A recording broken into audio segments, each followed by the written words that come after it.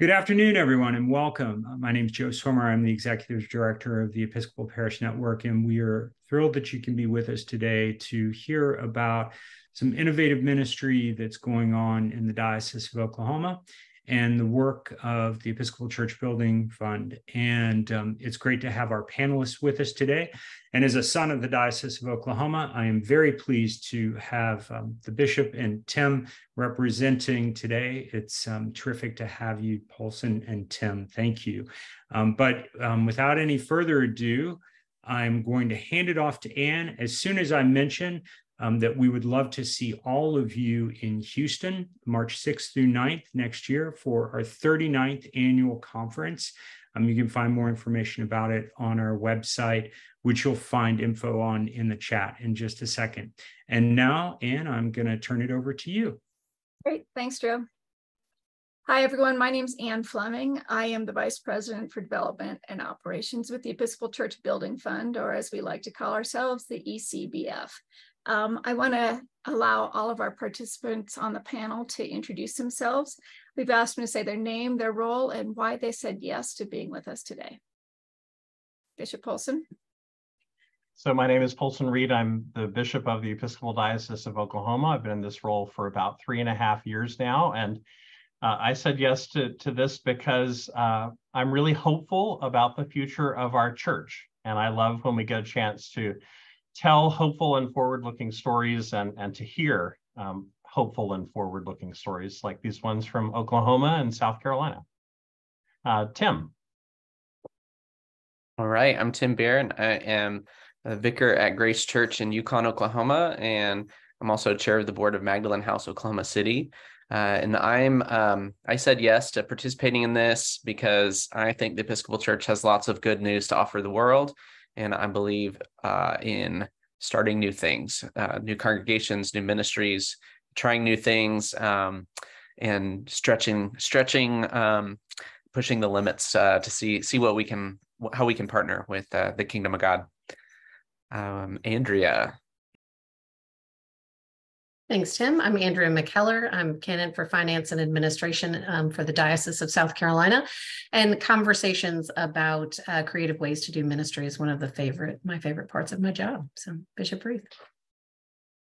Thank you, Ken McKellar. I'm Ruth Woodliff Stanley, and I serve as a bishop of the Episcopal Diocese of South Carolina. I said yes first because when Anne Fleming asked me to do something, I say yes. Uh, and I also said yes because uh, South Carolina has come through challenges in a way that is uh, leading us toward the future with a particular uh, fierceness and joy. And I'm excited to get to talk about that. Thanks. Thanks. So just to give everyone an idea of how we're going to do this, uh, we're going to ask Bishop Poulson to start us off, kind of give us some grounding, and then Tim's going to talk a little bit more about the projects in South Carolina or in, in Oklahoma. He could talk about South Carolina, but I think we'd, we'd be best off letting Ruth and Andrew do that part. So uh, off we go. Very good. Um, so as I think about um, all of this from the diocesan perspective. Um, we have been involved with two particular projects, and they both involved uh, Tim Bear in a significant leadership role. Um, and these two projects have have happened um, with not only a diocesan piece, but also really uh, significant investment from the building fund. Um, so it's really been a kind of multi-layer, uh, multi-point uh, partnership. And Tim Bear will give some details about uh, both of these projects in Oklahoma uh, in a little bit more detail in just a minute. Um, the first of these projects in Oklahoma uh, is a church plant, um, Grace Church in Yukon, which is a rapidly growing area uh, in Oklahoma, just outside the Oklahoma City metro area. Um, and then the second project um, is Magdalene House OKC, and this is part of the very familiar Magdalene House Network that Becca Stevens uh, launched uh, so beautifully that just continues to do incredible work uh, all around the country. Um, with both of these projects, Grace Church Yukon as a church plant, Magdalene House OKC as a new ministry, um, the role of the diocese really was as catalyst. Um, but we were not a catalyst in exactly the same way in these two uh, situations. So with Grace Church Yukon, um, with significant funding from the building fund, the diocese was also a, a significant funder. And this was a church plant um, over uh, a couple of bishops, myself and, and my predecessor in Oklahoma. Um, it's been a project that's involved very gifted clergy leadership um, by, uh, by Tim. And part of what I love about the story of Grace Church Yukon is that this was a church plant that happened um, in the middle of COVID. And despite all the challenges of COVID, this happened. And um, so during COVID, we uh, blessed the land and we built the building and we consecrated the building. Uh, and the congregation is off to a fantastic start in this uh, new building and is moving uh, ever steadier towards self-sufficiency and, and eventually parish status. Magdalene House, on the other hand, uh, is a, a ministry uh, that is a little bit different, but also very important. Oklahoma is a state with uh, one of the highest levels of incarceration in the country. Uh, Magdalene House is not specifically a diocesan ministry, but we did at the diocesan level help to raise seed money um, through an annual effort we have called the Bishop's Appeal. And we also helped in that appeal to raise some awareness about Magdalene House OKC. Um, but there have been a number of different partners involved, uh, including the diocese and the building fund in getting Magdalene House off the ground. Um, for me, three uh, quick lessons about the diocesan role with these two uh, projects in partnership with others. Uh, for me, the first lesson has been the importance of going big sometimes in strategic situations. I worry sometimes in the life of our Episcopal Church that we've gotten a little timid, a little shy. Um, and so I think it's really good to go big uh, when the situation is right and we feel called by God to do that. Um, and I think we've certainly done that in these situations. Um, for me, the second lesson in all of this in the diocesan role is that there is a different role for the diocese in different situations, depending on the circumstance, uh, the strategy that's needed. So with Magdalene House and with Yukon, the diocese was involved, um, but in different ways. And third and last, uh, none of this happens without great leadership. Uh, we've had wonderful clergy and lay leadership in, in both these cases with both these projects. And without those wonderful leaders, uh, it would not have been possible. Um, so wonderful stories both, and Tim's going to tell you a little bit more about them. Tim.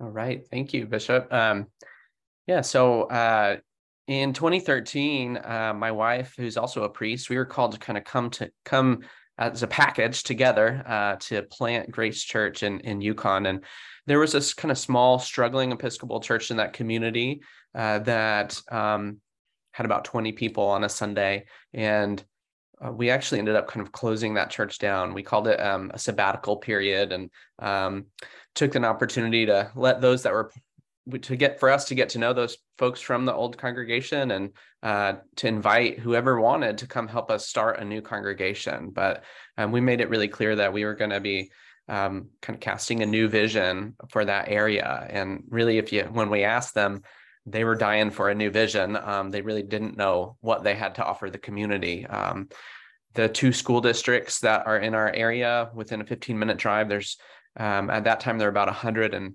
25,000 people. Now there's about, well, I think there are about 140. Now there's about 180,000 people uh, in in that area. So we, it was a group, the fastest growing suburb uh, in in the state of Oklahoma, and so it was a prime location for a much larger Episcopal church, really. But um, we had to kind of cast the vision for that, and so uh, we launched that church in 2014, and our goal was to reach a lot of younger adults in their 20s and 30s. Uh, we were in our our we were in our late 20s at the time uh, now late 30s near my wife is almost 40 uh, coming up uh, in a, a couple weeks. Um, but so we were kind of in that demographic that we were trying to reach.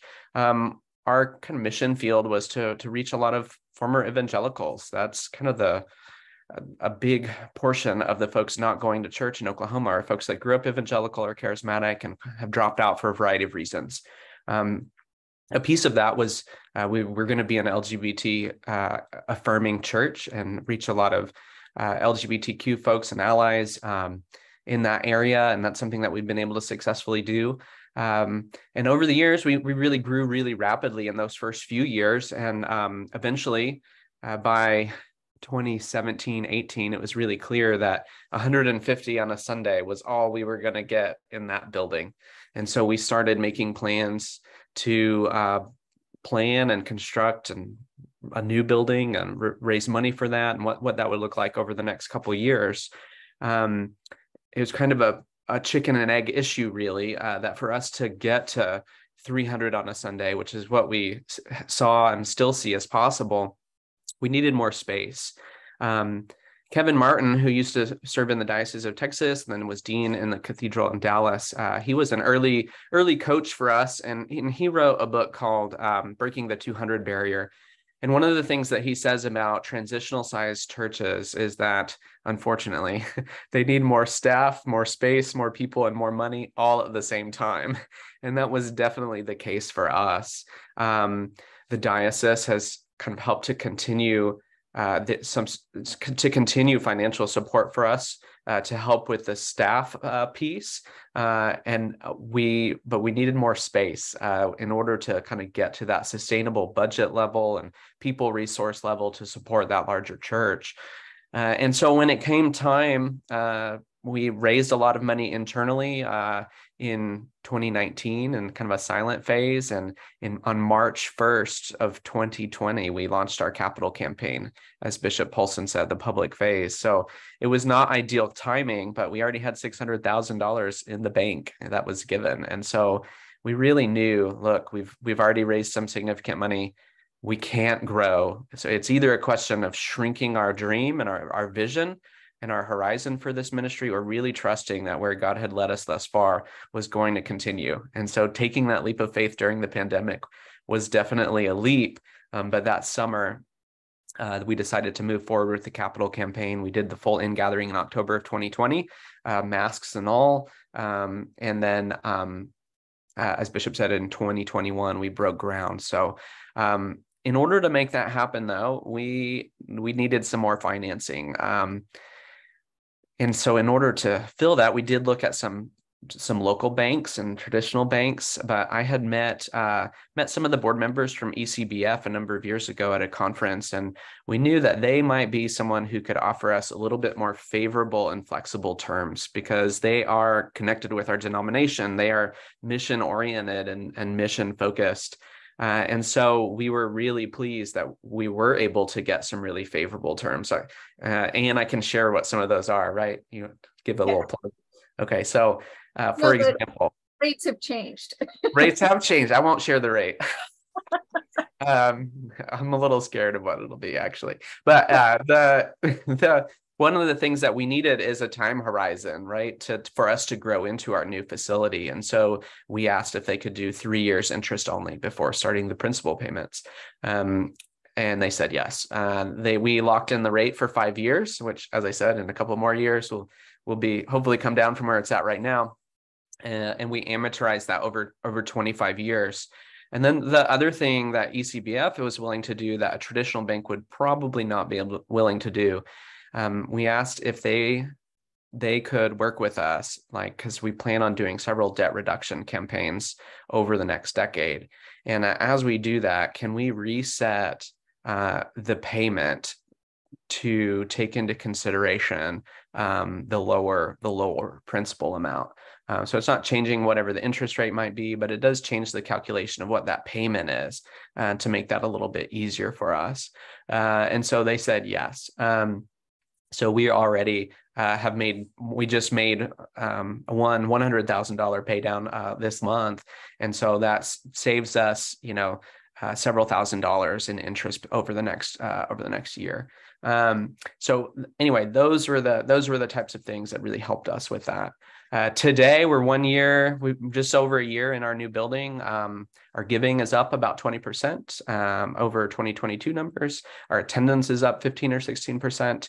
Uh, and so we're making that headway. Um, there's still a long way for us to go to reach all of our goals. Um, but just year by year, we uh, kind of sl- slow and steady wins the race towards where we want to be. Um, so today we've got about 180 or so in attendance on Sunday in person. And again, like our our our vision is is to towards 300.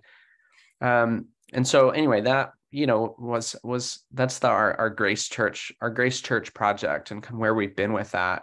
And I, I, Magdalene House was one of the things that that Anne really wanted to talk about. And I said, if I'm going to talk about Magdalene, I have to talk about Grace because the two go together for me um, in in many ways. One, it's it's the um, it's the people and the excitement and um, that desire to do love spreading difference making ministry in the community that comes out of our energy at grace church that inspired some of us to come together and uh, begin discerning uh, the magdalene house in oklahoma city.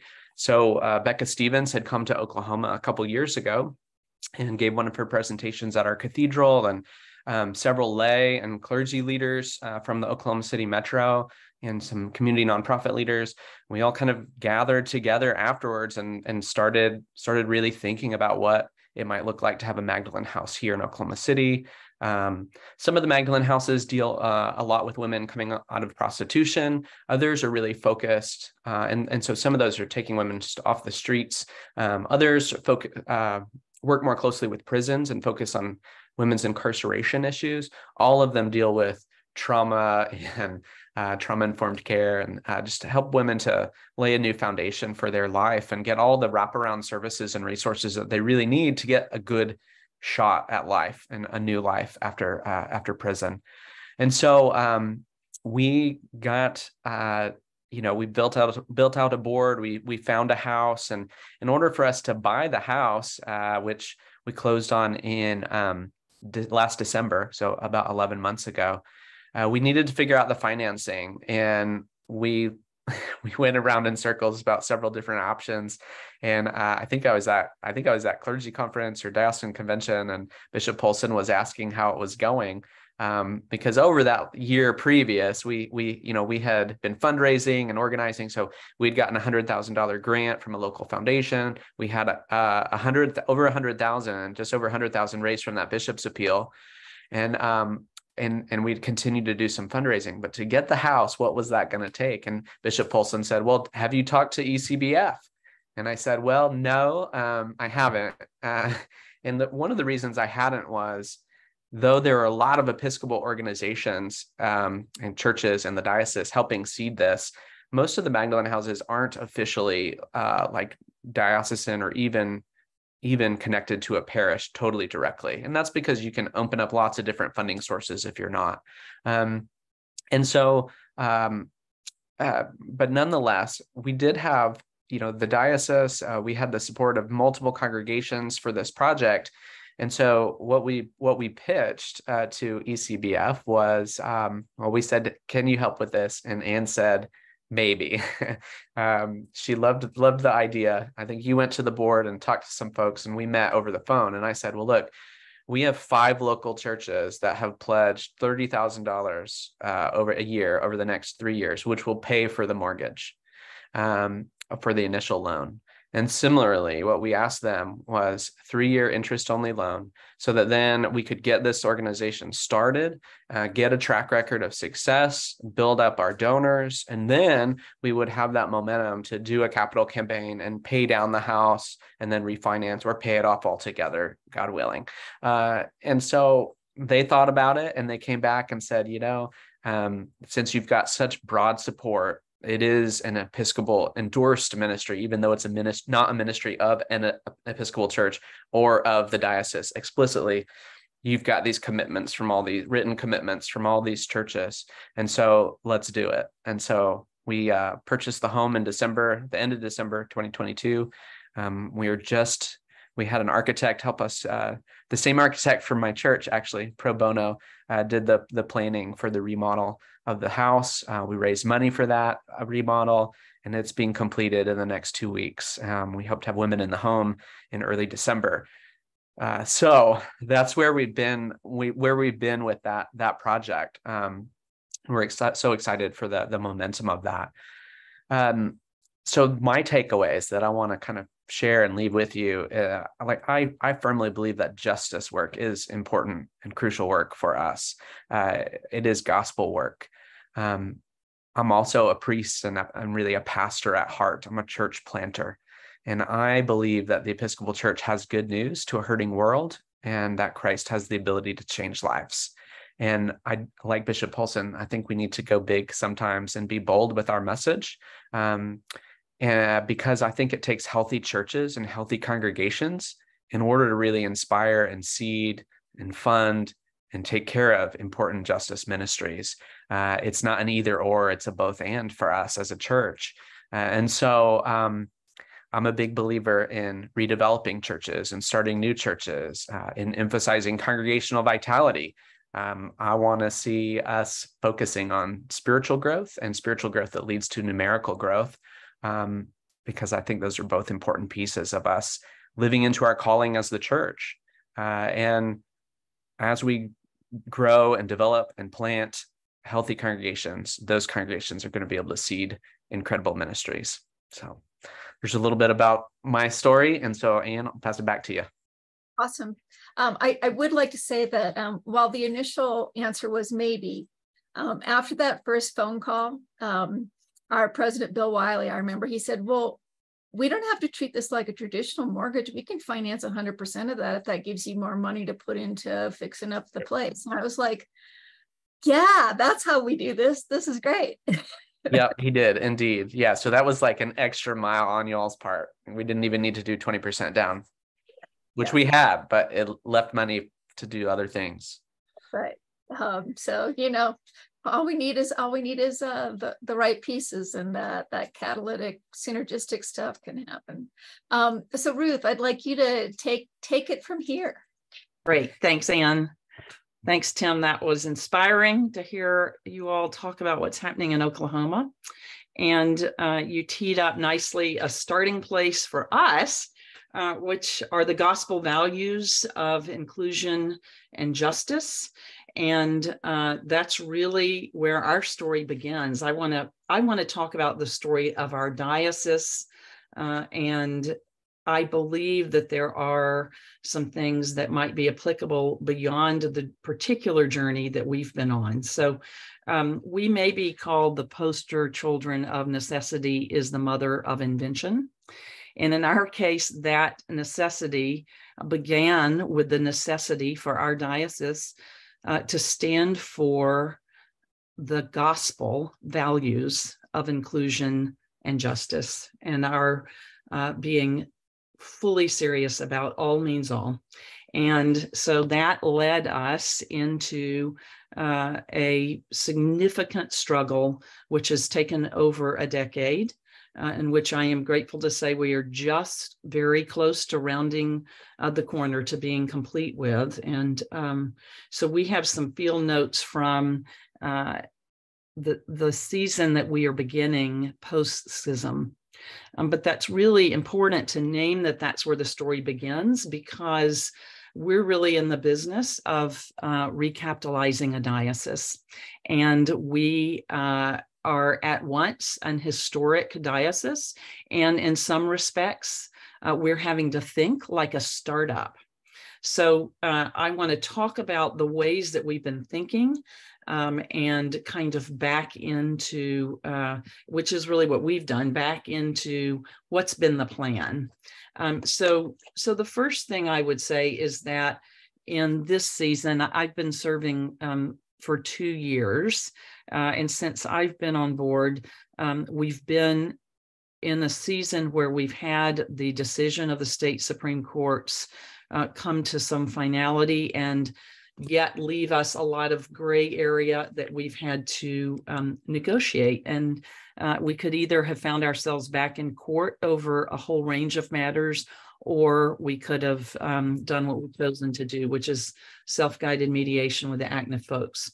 And the reason uh, that's important, I think, is because we've learned through that that um, it's been a means of helping us to clear out some obstacles so that uh, we could to, could make the pivot and begin to really focus on the vision God has for us for the future.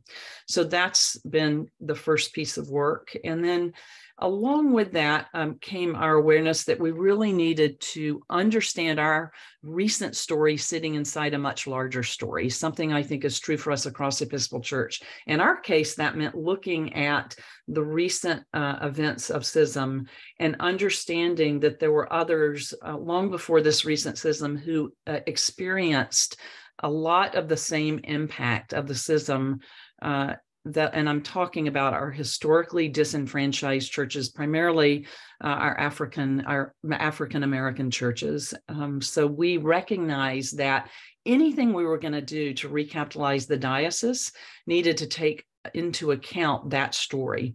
We also recognize that uh, in addition to uh, the fact that we needed to support our returning parishes, those that returned to the Episcopal Church, and uh, and really set them up for a, a, bright new season of sharing the gospel in the places where they're planted. We also need to support those that did not get property back, but where we know we are called to have an Episcopal presence and where we know the need is great for our particular message and our particular way of engaging the gospel of Jesus. So we ended up articulating three tiers of catalytic investment for the diocese.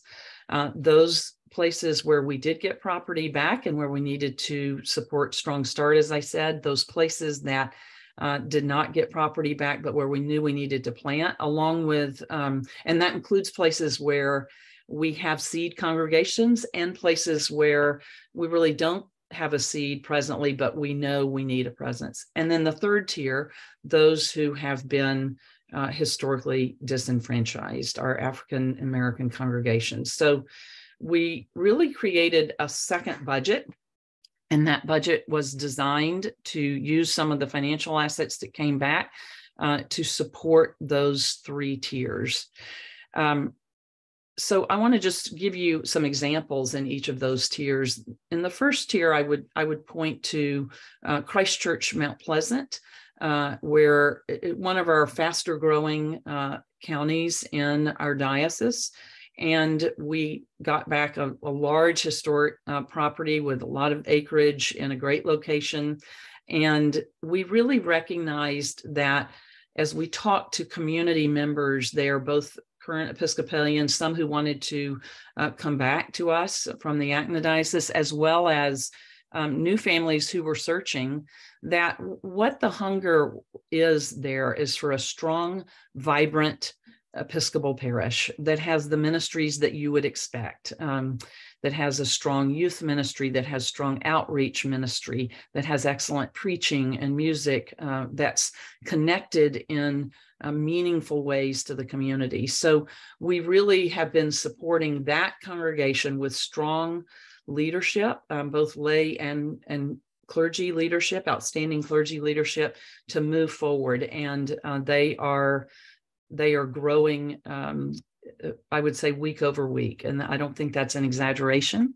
Um, and we set up with all of our returning congregations a, a financial model that allows them to have uh, benchmarks that they seek to reach by uh, every six months, and so that our support can decrease as their capacity increases, which again, I think is a great model uh, for any uh, church start or restart. In the second tier, um, the work has been um, more about looking at uh, both metrics internal uh, to the church as well as uh, external in the community to understand who's in front of us what the present needs are. Um, what as uh, one of my friends says what has our name on it uh, so where is the call for us to be engaged in local community so we really needed to do some discernment work and we turned to our friends at ecbf and anne has um, been generous to come in and do some visioning and consulting work with the congregation. They did an early feasibility study to talk through um, what it would look like for that small but mighty congregation to help seed a parish, so to partner with us in that region to seed a new expression of the Episcopal Church. We've also recognized the need for some property expertise. And so we've um, had the gift of uh, a principal of a, a, local real estate company that specializes in a property in that region to come in and vet uh, to, to, narrow a list from about a dozen properties and vet property with us. And the concept that we have is is really for them to be looking at property where they can have alternative uh, alternate revenue streams with uh, strong community partners so that their mission and vision intersects with the pra- practical need uh, to make this work financially. So that work has been happening in parallel. And again, that's really for us about um, helping them to bring the, the aspirations that they have together with the practical realities, and that is in the fastest growing county of our uh, diocese. And so that work we're really excited about. And we think that all of the pre work they're doing is going to put us in a strong position to have success with that as a church plant with a, with a strong uh, seed congregation. The example I would point to in the third tier uh, is is a fantastic one of our fantastic historic churches, um, historic African American churches, Calvary, uh, in downtown Charleston, that has um, has really um, been a key leader not only in the faith community but in the city of Charleston and in the state in raising up uh, leaders in really every discipline and has had in past era a school uh, that has uh, formed young children and been a place uh, that has raised up uh, folks who have um, continued to have strong ties there. Uh, it's a congregation that was on the redevelopment cycle, really poised for redevelopment and need needed certain ingredients. And we recognize that uh, part of the obstacle that they face was uh, historic discrimination, not only in the community, but from within the diocese. And so, as part of repairing that breach, we elected not only to make a catalytic financial investment, but also um, we just started looking, we, we were realizing we needed to expand our diocesan office space as our, uh, uh, as our team grew. And suddenly, you know, we just said, why would we um, be looking at space in high rent district in downtown Charleston when they have the space that used to be used for that school that's just lying empty every week. So we put a satellite office there. Uh, we agreed upon a market value uh, rent and improving that space so that we're um, you know we're good tenants and when we leave we leave it improved um, and that together with the catalytic investment changed the bottom line for them enough so that they were able to call uh, a fantastic new uh, rector. And uh, that rector, along with the lay leaders there, is articulating a plan uh, for redevelopment. Uh, for that historic parish, which we think will uh, put them in good stead to, to have a strong next half a century. So we're really excited about that because we recognize that they have been and need to continue to be um, a key parish in our diocese. So um, that's just uh, some that's some example of the way we're working with the three tiers and how we're making those um, investments. We're, we are, as I mentioned before, we're in a process with we've got a, a, a financial team that Andrea uh, convenes and leads that works very closely with each of the tiers to look at their benchmarks and make sure that we're giving them the support they need so that they get to uh, the financial in- independence that uh, that they want, and so that they are seeing the growth um, that they expect to see. Um, we when when we, you know when we're running into problems with that, then you know we make some adjustments. Um, we might slow a growth plan a little bit if we see, hey, this isn't quite as fast as we thought it was going to be, but it's still um, coming along.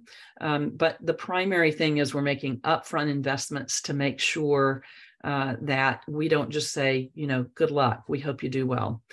All of that for us is in uh, service of our understanding, again, that um, the, the struggle we went through that this diocese went through was for a reason and we have a responsibility we understand our responsibility to the gospel to include having strong vibrant communities in every uh, in every corner of the diocese um, so I, I want to just come back and highlight, and I think Andrew's put them in the chat, but um, these are kind of the lessons from the field that we've taken. Um, you know, clearing out obstacles, seeing where you're where you're spinning wheels with diminishing returns on um, things with a very uncertain outcome. So in our case, those would be some of the remaining issues that we felt we could you know we could continue to fight all day long for years to come but we weren't confident that we would prevail. And furthermore um, we felt we needed to be directing that energy in a different way. Um, in some cases you know we're we find that we're able to do that. And in other cases we have to stay engaged in some of those hard discussions um, because we want to make sure that we are not negotiating things a way that we we shouldn't. But at the same time uh, in places where we say yeah we're, we we think that's a reasonable trade-off to make those are the places where uh, we can remove some obstacles. And then connecting dots always looking uh, for uh, how does this story this present story sit inside the larger picture um, gathering resources. I've mentioned e- ECBF, I've mentioned the real estate group that we have been working with, um, the, the, other folks who've been working with us in both financial modeling as well as church planting uh, wisdom.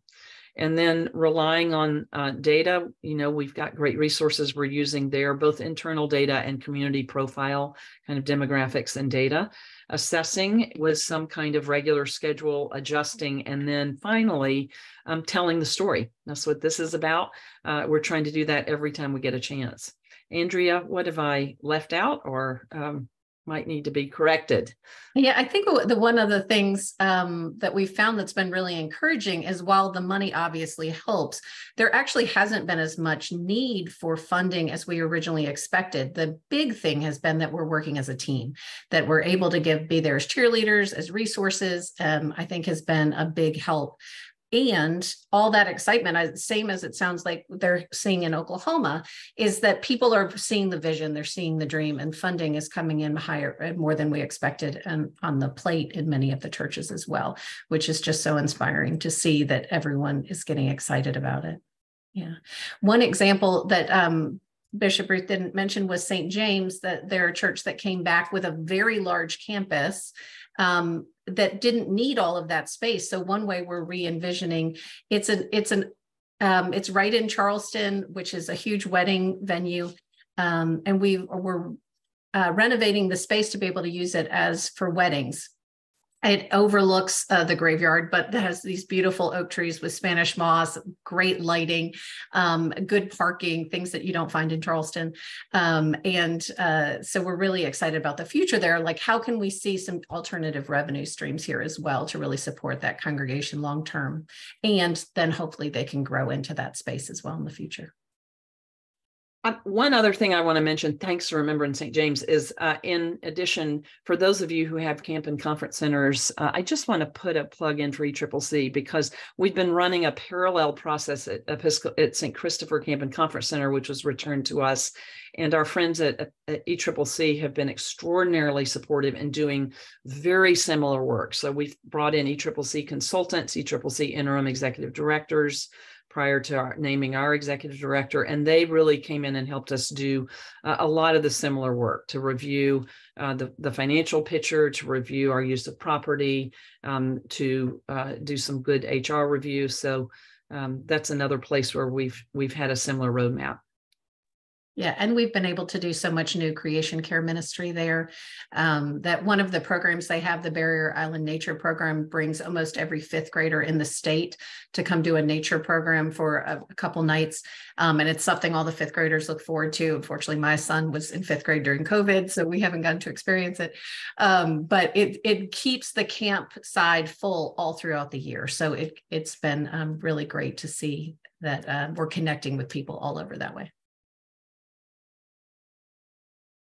So um, does anyone um, want to comment on when we're looking at buildings, whether we're building new ones or um, trying to redevelop old ones, you a couple of you have talked about the importance of having healthy congregations and strong leadership. What do you do with a, a place that seems to maybe have lost its way a little bit around its identity and isn't right sized for its property? What are you seeing that encourages you um, and might be able to help people apply what you've learned to their local context?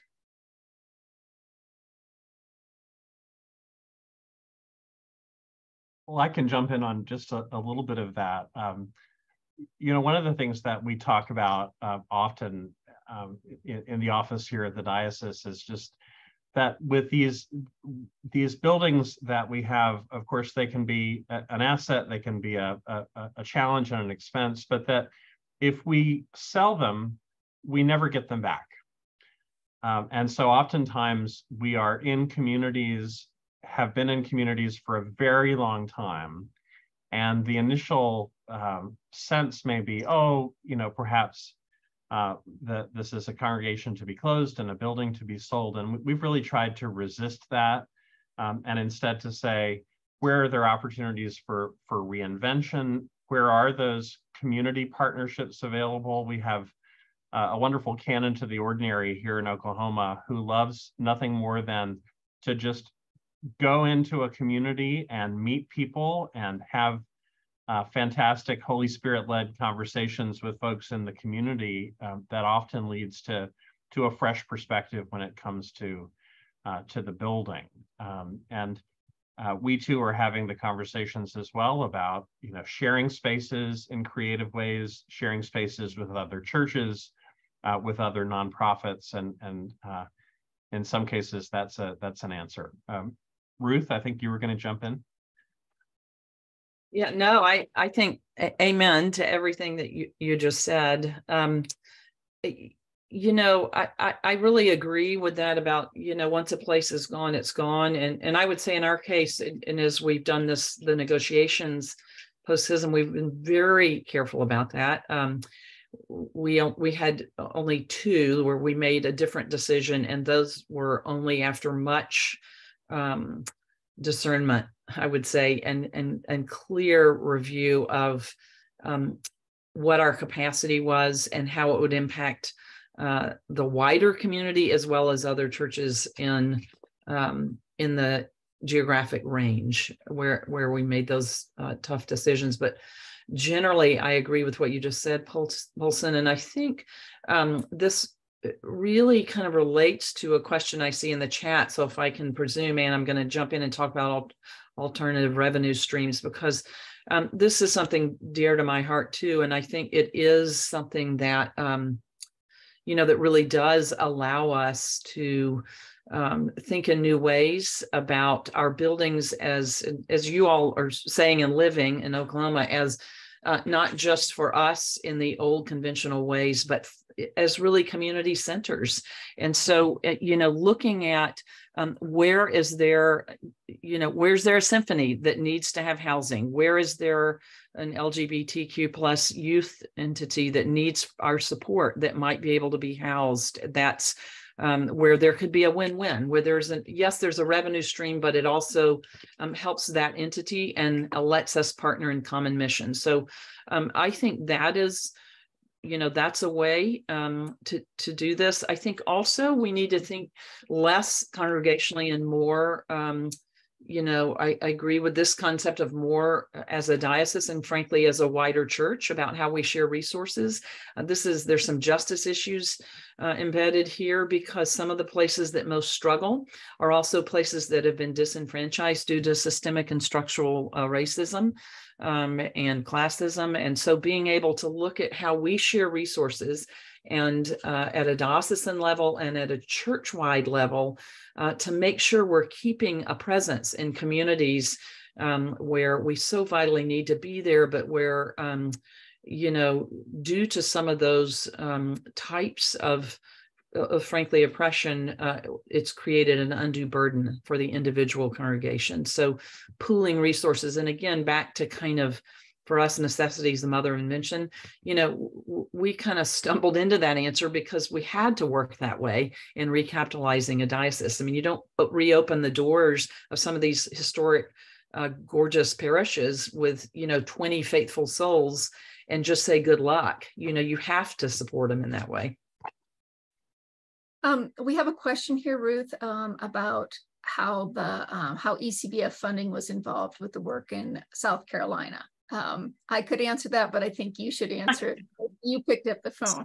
so um, I would say stay tuned um, because I think the best is yet to come in terms of the ECBF South Carolina partnership. But uh, we already have some loans on the books with uh, ECBF, um, some loans that uh, ECBF was uh, generous to make during uh, during really a difficult time in this diocese to some of our displaced congregations. I'm thinking about um, St. Anne's Conway, and I think we've got a couple loans on the books like that. But now um, we are in conversation with ECBF about uh, our intent to come knocking on the door for loans in several areas in i would say um, certainly the first tier and the second tier of those uh, catalytic investment tiers i named.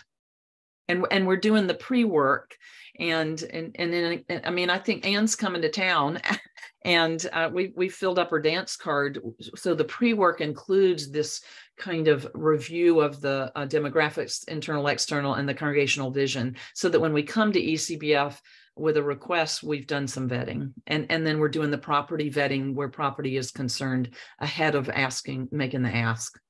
And and for for a lot of the work that that i've been doing it's it's really about helping the congregation get clear about what do they need and what can they afford um, and, and, sometimes people get busy you know designing you know stained glass before they have really figured out what do they need need.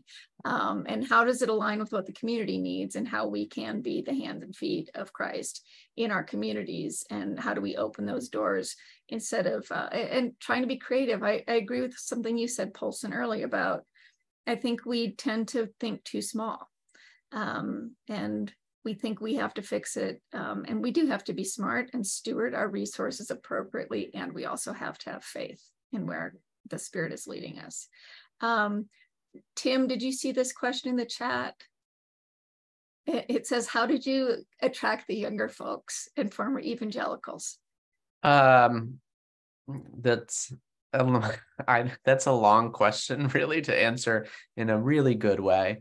Uh, but in a short way, I can say that one of the things that we did was we built our team and our leadership and our staff uh, to really reflect the kinds of people that we wanted to um, that we wanted to help find a home within our our congregation. Uh, so even from the very early days, um, from a, as a launch team, we we went out and found um, found younger people to um, to help us start the church, and then uh, as well as LGBTQ folks, and um, we've lifted them up all along the way. So if you look at our website and look at our staff and leadership page, uh, you'll see that the average age still today uh, of our bishops committee is probably right around 40.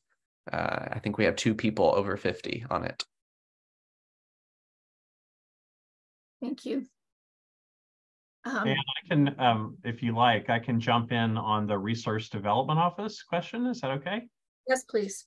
Yeah. So we um, in Oklahoma, we do not have any sort of staff member dedicated to uh, financial resource uh, development within our diocesan office. We have had positions like that at various points in the past, uh, but don't have that currently. Uh, but what we have done is we have prioritized um, in, in Oklahoma um, having just a little bit of money every year that now is directed towards a fund that is for church planting, for church redevelopment, for that type of, of more expensive um, and important creative work. Um, because what we don't want to do is uh, have a, a, beautiful idea that comes uh, from the Holy Spirit, and then we're not able to have the resources to do it. And, and we recognize that it's really important for us to be able to have places uh, like church plants, like Tim's been involved with, new ministries that are happening, really significant redevelopment of churches. Congregational vitality is the, the absolute heart of uh, what we're about um, in this particular phase of our life together. And so just having a little bit of money every year that goes into this fund that we can use as it grows larger for those planting and redevelopment and other creative efforts um, has been huge for us. So we have been able to raise some money when we've needed to do that, uh, but knowing that that we are uh, seeding that fund um, continually has also been helpful. We've had something a little bit similar in South Carolina too. Since 2014, we've had a ministry grant line that's outside of the budget. It comes straight from um, the trustees, and it it is really for dreaming. That's what we encourage people for new ministry, for things outside. It's not to pay an organist. It's not to fix the roof. Like what what new cool thing? And you know, one of our churches asked for a thousand dollars to start a flower ministry, and they pick up flowers at a funeral home every week from the and then distribute them to teachers in schools and to people in hospitals. And it was all they needed was money for a cart and some vases and it's turned into this great big program. So it's something where a little bit can turn into something really big. So it's beautiful to see when that works. I, I, I love that and i would I love that we do it. And I would add, we may steal from y'all, Oklahoma, this idea about fundraising specifically toward that fund. Um, that that's a great that's a great idea. Uh, we we don't have a um, person, uh, as Andrea saying, you know, specifically doing it, but I will say I will add to what she said and just say we we um, have just done a really great grassroots process of um, working on strategic vision and plan, and I anticipate that the logical next step is you know okay folks now we've got some things we need to really fund in a in a new and more comprehensive way. So i think uh, we, we've got our eye on that and we are blessed to have some lay leaders in particular who have deep experience in development work. So um, i'm counting on their uh, their generous gift of some volunteer hours and then we'll see where that um, leads us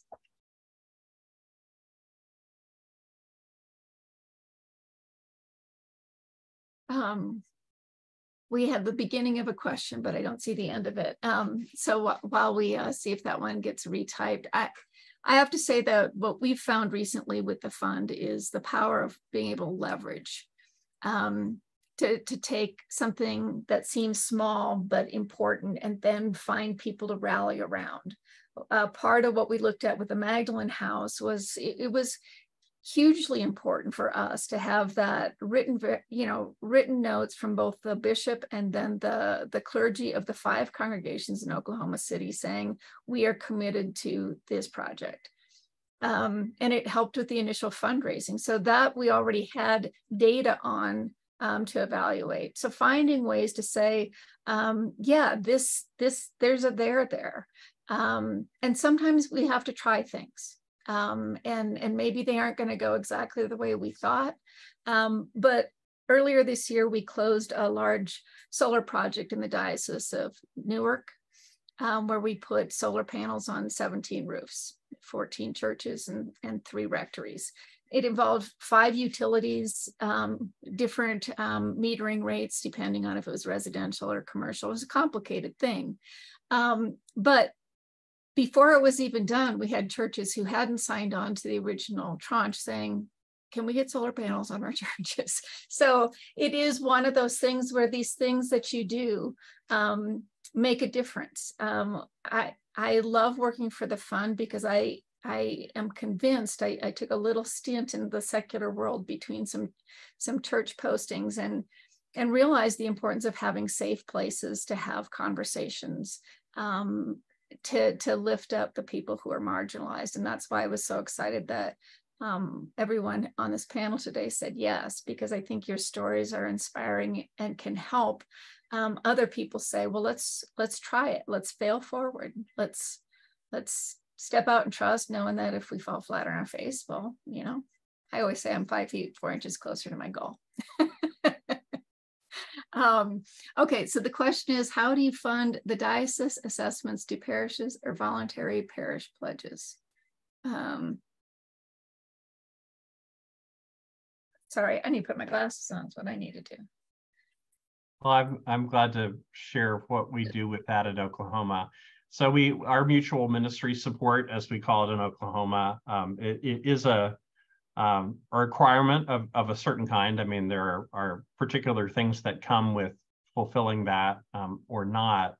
But our uh, what I would say is that our emphasis in Oklahoma has been on lowering that mutual ministry support percentage, that percentage of plate and pledge uh, uh, lower and lower all the time to keep more money in our congregations. So in Oklahoma, we've gone from a high of about 22% of uh, of uh, mutual ministry support down to 15, um, and we hope to take it even lower um, in the future. Just that recognition that if we're going to be about congregational vitality, most of that vitality happens on the congregational level, and more money staying in congregations means uh, uh, more money for for vitality and more resources for God's mission on the local level. So that, that's how we how we handle that.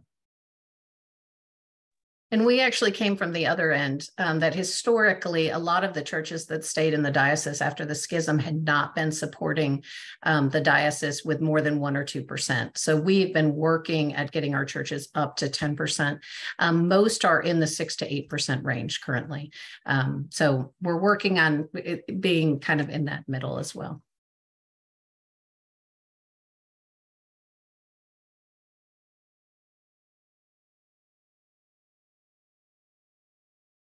All right, well, I think we are coming to the natural end. We, I'm not seeing a lot of um, questions pertaining to the catalytic life of, uh, of your diocese. Um, of course, if anybody wants to follow up, uh, contact Joe. Um, the this recording will be going out. Um, there's a and and the copy of the chat will go out to participants as well. Um, if anyone wants to learn more about the Episcopal Church Building Fund, you can check us out on our website. Um, I'm just to let you know, I'm the I'm the face of the organization, so you're probably going to get me um, at least on the the first the first blush. Um, but if you got a question or you got a project, please reach out. You know, we, we try not to start with no. We start with well, that's interesting. Let's let's hear more. All right, Joe, I think we're good. Thanks so much, everyone.